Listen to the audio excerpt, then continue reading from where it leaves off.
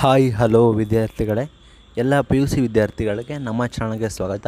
P U C ಪರೀಕ್ಷೆ ಎರಡು ಸಾವಿರದ ಇಪ್ಪತ್ತೆರಡು ಬರೆದ ವಿದ್ಯಾರ್ಥಿಗಳೇ, ಒಂದು ಗುಡ್ ನ್ಯೂಸ್ ಬಂದಿದೆ. ಆ ಗುಡ್ ನ್ಯೂಸ್ ಬಗ್ಗೆ ತಿಳಿಸ್ಕೊಡ್ತೀನಿ.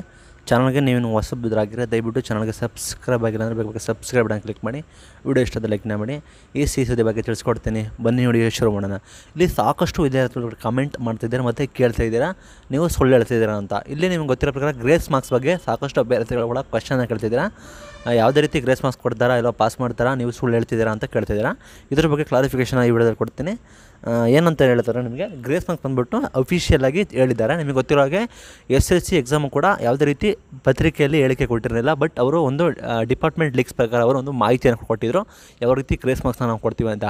ಅದೇ ರೀತಿ ಪಿ ಯು ಸಿ ಅವರು ಕೂಡ ಪಿ ಯು ಸಿ ಡಿಪಾರ್ಟ್ಮೆಂಟ್ ಅವರು ಕೂಡ ತಮ್ಮ ಡಿಪಾರ್ಟ್ಮೆಂಟ್ ಲೀಕ್ ಪ್ರಕಾರ ಗ್ರೇಸ್ ಮಾರ್ಕ್ಸನ್ನು ಕೊಡೋಕ್ಕೆ ಆಲ್ರೆಡಿ ಮಾಹಿತಿ ಬರ್ತಾ ಇದೆ. ನಿಮಗೂ ಕೂಡ ಗ್ರೇಸ್ ಮಾರ್ಕ್ಸ್ನ ಗ್ರೇಸ್ ಮಾರ್ಕ್ಸನ್ನು ಪ್ರೊವೈಡ್ ಮಾಡ್ತಾರೆ.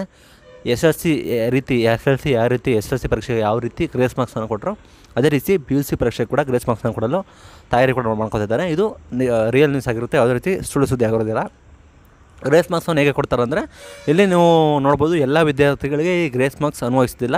ಯಾವೆಲ್ಲ ವಿದ್ಯಾರ್ಥಿಗಳು ಇನ್ನೇನು ಜಸ್ಟ್ ಪಾಸ್ ಆಗ್ತೀರಾ ಅಥವಾ ಪಾಸ್ ಆಗಿ ಸ್ವಲ್ಪ ಜಸ್ಟ್ ಅಂಕ ಆಗಬೇಕು? ಯಾವೆಲ್ಲ ವಿದ್ಯಾರ್ಥಿಗಳು ಜಸ್ಟ್ ಪಾಸ್ ಆಗಿ ಜಸ್ಟ್ ಸ್ವಲ್ಪ ಅಂಕ ಆಗಬೇಕು? ಆ ವಿದ್ಯಾರ್ಥಿಗಳಿಗೆ ಮಾತ್ರ ಗ್ರೇಸ್ ಮಾರ್ಕ್ಸನ್ನು ಪ್ರೊವೈಡ್ ಮಾಡಲಾಗ್ತದೆ.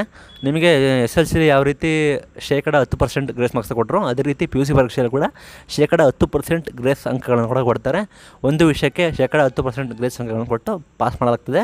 ಇದು ಅಧಿಕೃತ ಮಾಹಿತಿನೇ ಇದು ಪಕ್ಕ ಕನ್ಫರ್ಮ್ ನ್ಯೂಸ್ ಆಗಿರುತ್ತೆ. ವಿದ್ಯಾರ್ಥಿಗಳು ಯಾವುದೇ ರೀತಿ ಆತಂಕಕ್ಕೆ ಒಳಗೆ ಆಗಬಾರ್ದು.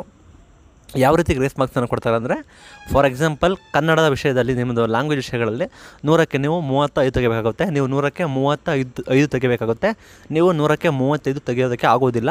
ನಿಮ್ಮದು ನೂರಕ್ಕೆ ಇಪ್ಪತ್ತೈದು ಅಂಕ ಬಂತು ಅನ್ಕೋತೀರಿ. ನೂರಕ್ಕೆ ಇಪ್ಪತ್ತೈದು ಅಂಕ ಬಂತು. ಆಗ ನಿಮಗೆ ಹತ್ತು ಗ್ರೇಸ್ ಮಾರ್ಕ್ಸನ್ನು ಪ್ರೊವೈಡ್ ಮಾಡ್ತಾರೆ. ಆಗ ನೀವು ಪಾಸ್ ಆಗ್ತೀರಾ. ಇನ್ ಕೇಸ್ ನೂರಕ್ಕೆ ನೀವು ಮೂವತ್ತೈದು ತೆಗಿಬೇಕು ನೂರಕ್ಕೆ ಮೂವತ್ತು ಬಂತು ಅಂದ್ಕೊಳ್ಳಿ ನಿಮಗೆ ಪ್ಲಸ್ ಫೈವ್ ಮಾರ್ಕ್ಸ್ನ ಗ್ರೇಸ್ ಮಾರ್ಕ್ಸ್ ಕೊಡ್ತಾರೆ. ಆಗ ನೀವು ಪಾಸ್ ಆಗ್ತೀರಾ. ಅದೇ ರೀತಿ ಗ್ರೇಸ್ ಮಾರ್ಕ್ಸನ್ನು ಕೂಡ ಕೊಡ್ತಾರೆ ಡಿಪಾರ್ಟ್ಮೆಂಟ್ ಅವರು.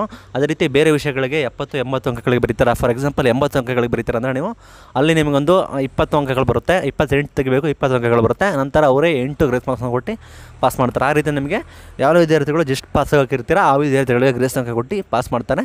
ಇದು ಗುಡ್ ನ್ಯೂಸ್ ಆಗಿರುತ್ತೆ. ಇದು ಇವತ್ತಿನ video thank you for watching guys